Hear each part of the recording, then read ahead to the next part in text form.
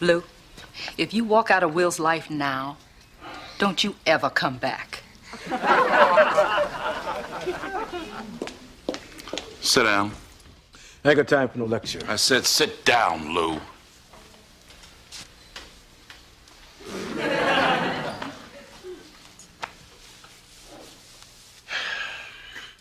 You know, Will was doing just fine until you showed up.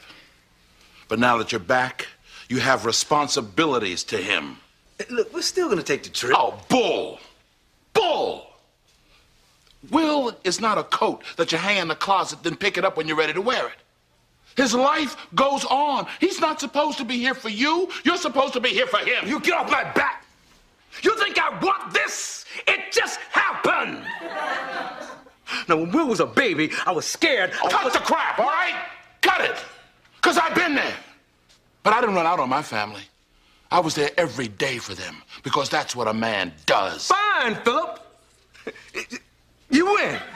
You the man. You a better man than me. You happy?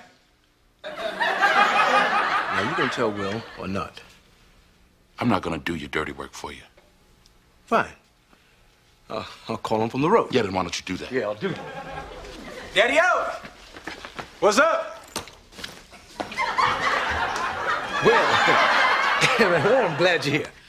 Um, some business came up I got to handle. So we're going to have to put uh, our trip on hold.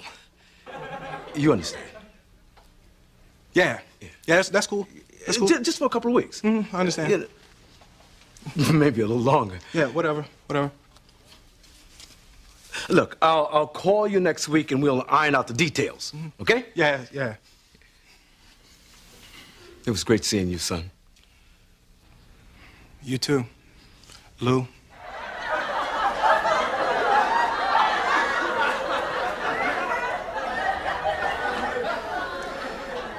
Yeah, um,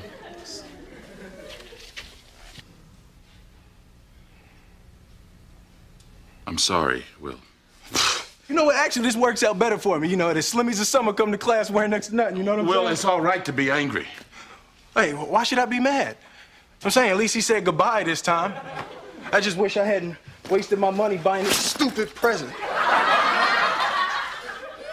I'm, I'm sorry. I, you know, if there was something that I Hey, you know do- what? You ain't got to do no, nothing, Uncle Phil. Hey, you know, ain't like I'm still five years old, you know? Ain't like I'm gonna be sitting up every night asking my mom, when's daddy coming home, you know? Who needs him? Hey, he wasn't there to teach me how to shoot my first basket, but I learned, didn't I? Hey, I got pretty damn good at it too, didn't I, Yeah, Uncle Phil? Got through my first date without him, right? I mm. learned how to drive, I learned how to shave, I learned how to fight without him. I had 14 great birthdays without him. He never even sent me a damn card. To hell with him!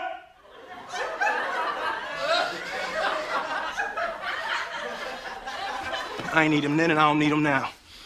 Will. Now, you know what, Uncle Phil? I'm gonna get through college without him.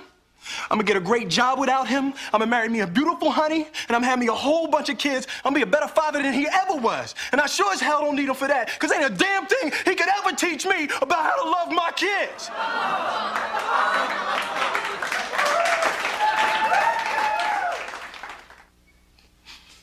How come he don't want me, man?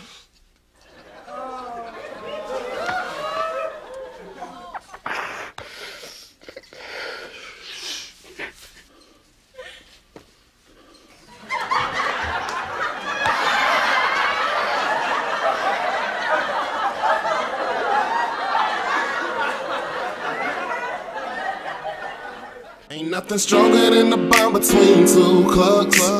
Tweaking everywhere, not giving two fucks. It don't even matter where we at. Just as long as I'm with you on crack. I need it in a day. I need it